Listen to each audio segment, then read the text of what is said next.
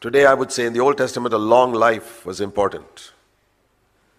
You know, a long life. But in the New Testament, quantity is never emphasized.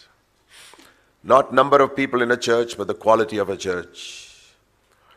Not how long you live, but the quality of your life. Jesus lived 33 years. The Apostle James lived about 30 years and he was beheaded. Stephen, probably 28, 29 years, stoned to death. Many great men and women did not live long lives. Many of them were martyred as young people, quality of their life, but they were faithful.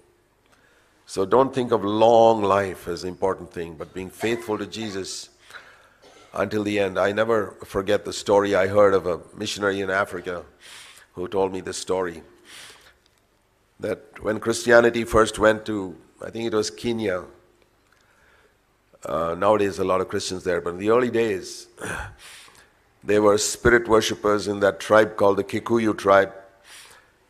And when the missionaries went there, and the first Christian, first person from that tribe was converted, he and his little 12 year old son. And the whole tribe was upset, and the chief ordered a, a conference. Conference means a discussion of the tribe, and they brought this father and son who dared to accept a religion called Christianity, which all their fathers had never accepted. And they asked this man, Will you renounce Christ? Imagine, just newly converted. He said, No. Jesus is my Savior. And the chief said, I'll kill you. He said, Fine. Got somebody to take a sword and cut off his head. Right there, the presence of everybody on this platform. And they called the little boy. What about you? See what I did to your father? You're going to renounce Christ? And he said, No. Christ is my Savior too. 12 years old. But he said, Before you cut off my head, let me take off my shirt.